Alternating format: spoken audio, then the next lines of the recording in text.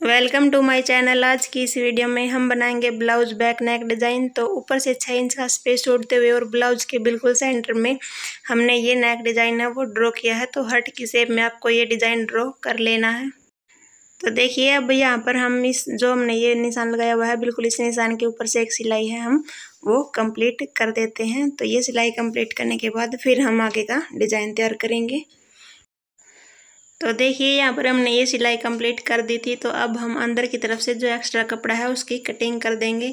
तो सिलाई के साइड में थोड़ा सा कपड़ा छोड़ते हुए आपको ये अंदर का कपड़ा है, वो यहाँ से कट कर देना है। तो बिल्कुल इसी शेप में हम यहाँ से कपड़े की कटिंग कर देते हैं।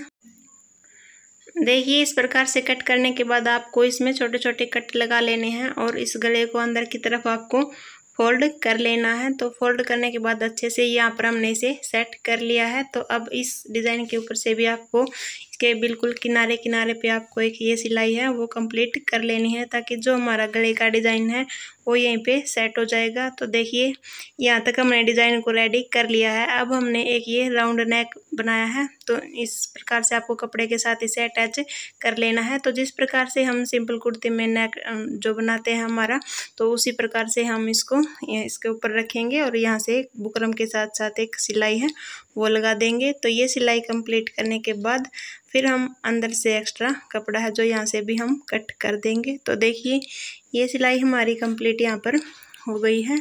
अब हम अंदर की तरफ़ से जो हमारा एक्स्ट्रा कपड़ा है, उसको कट कर देते हैं।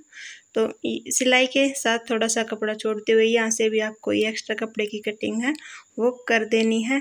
तो देखिए, ये कपड़ा हमने यहाँ से कट कर लिया है। तो अब हम यहाँ पर छोटे छोटे कट लगाएँगे ताकि हमारे गले में फिनिशिंग आए।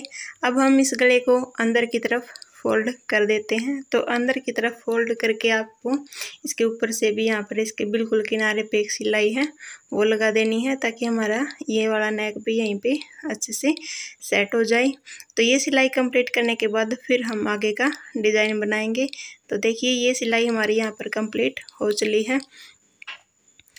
अब हम आगे का डिज़ाइन बनाएँगे। तो इसके लिए हमने यहाँ पर ये फ्रिल पट्टी तैयार की है। तो आपको भी इसी प्रकार से ये फ्रिल पट्टी है वो रेडी कर लेनी है। तो इस फ्रिल पट्टी को हम हर्ट की शेप में जो है हमारा ये डिज़ाइन है, बिल्कुल हर्ट की शेप में ही हम इस पट्टी को यहाँ पर लगाएँगे। तो ये दो पट्टियाँ मैंने यहाँ पर तैयार की थी। तो इनको इस प्रकार से रखेंगे और इनके ऊपर से आपको यहाँ पर एक सिलाई इसी शेप में लगा देनी है।